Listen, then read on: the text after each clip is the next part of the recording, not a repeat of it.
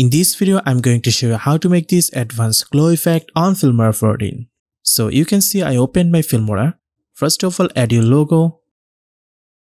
Then scale down from here.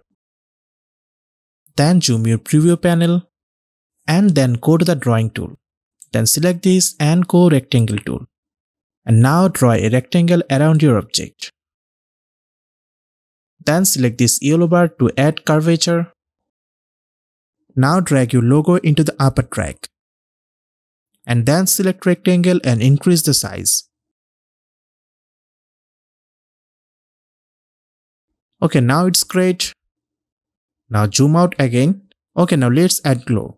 First of all, right click on rectangle and create compound clip for this. Then go to the effects section. Then go to the Boris effects and add this BCC plus Rays effect to the compound clip. Then select your compound clip and go to the effects section.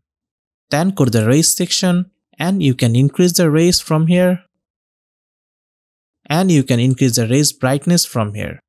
Okay, after that select both and right click on this and create compound clip. Okay, now let's add animation. For this, go to the first frame and add a keyframe on scale. Then go some frame later and increase the scale value. Okay, now smooth your animation by using keyframe assistant.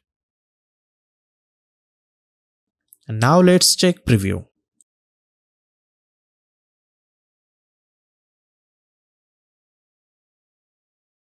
So you can see our animation is not showing. Now if you want to change your glow color, then just go to the compound clip and select your rectangle compound clip and go to the effects section. And from Rays top down, you can see the color. Just select your color from here. I set it to blue and now it's okay. Then go back to main timeline and you can see our animation is ready.